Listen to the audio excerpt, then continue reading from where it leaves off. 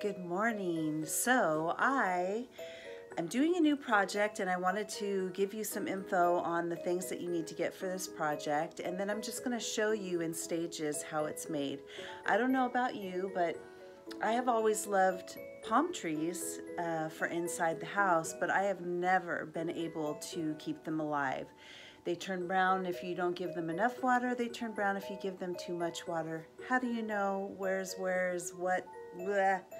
I just couldn't do it and so unfortunately the two beautiful ones that I had I gave it a good shot for I think probably four or five months and it just didn't work out. So I'm going to use the containers in them and I'm going to create a fake plant because those seem to do much better inside the house. Outside with flowers and plants and ferns, I got it, but inside the house it just never works. So some of the things that you can get is the first thing is go to um, any kind of craft store that you like and go into the party section. In that party section, it will have a tiki section. And in the tiki section, they will have leaves and they look like this. And they come in a pack of, I believe, six. And believe it or not, they're only $5.99. Now, these are the same type of leaves that you get when you buy fake plants. Here's the back side. Here's the front side. These are quality leaves. They're really nice and it's a really cheap price. So what I'm gonna do is I'm gonna build my own tree but I'm gonna make it unique and kind of do it a little bit like a floral arrangement, but I'm gonna use different types of plants at the base and um, I'm just gonna fill it in however I wanna do it and have a year-round beautiful tree that I do not have to worry about.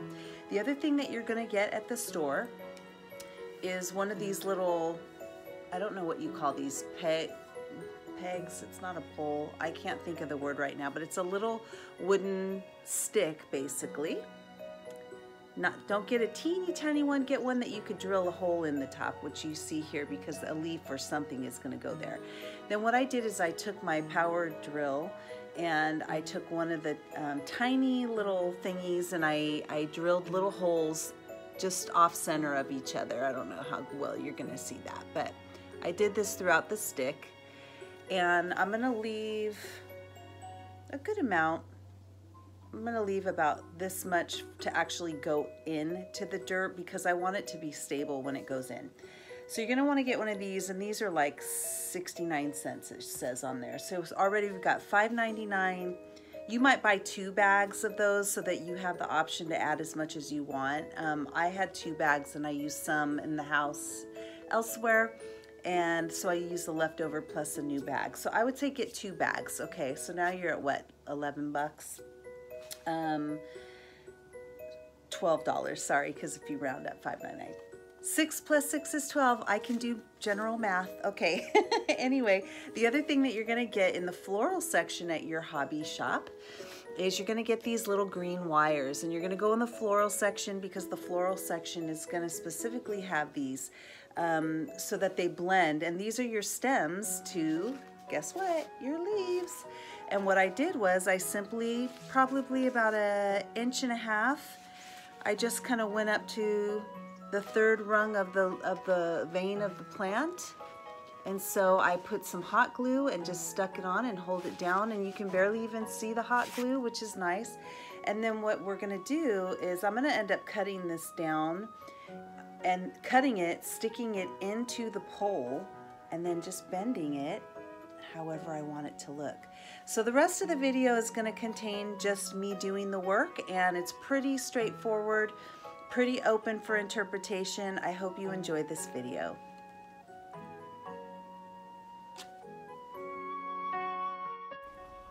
Let's get started. First, you're going to take your drill and you're going to drill holes unevenly around the base of the pole that's going to act as the trunk of your tree and do it all the way through. In the beginning, I wasn't sure if I wanted to do that, and I realized something that I'll show you later. It's important to go all the way through. Don't worry also if you cannot drill anything because you don't own a drill, you can also use the wire and hot glue, and I'll show you that later. And now to assemble the tree.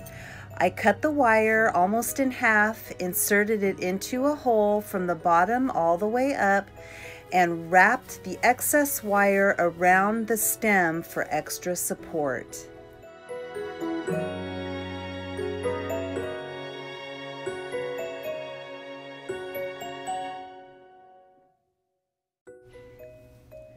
Fill in the bottom with ferns or any plant or flower that you like, dried moss, and just the regular old green moss to fill it in and make it lovely.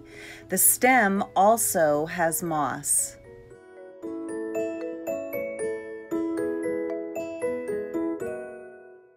Now I also added a foam cone to the top of the pole and then I added on different pieces of smaller ferns and flowers that will match my decor. And I went through the entire stem and I covered it with moss. I filled in the bottom parts and I also filled in the middle sections with additional plants and flowers. And I used a zip tie to um, adhere those things together. And remember that you can always turn it to the direction that looks the most full to your facing public or yourself. And you can always adjust the plant leaves because they are made of wire. I thought this was a great success.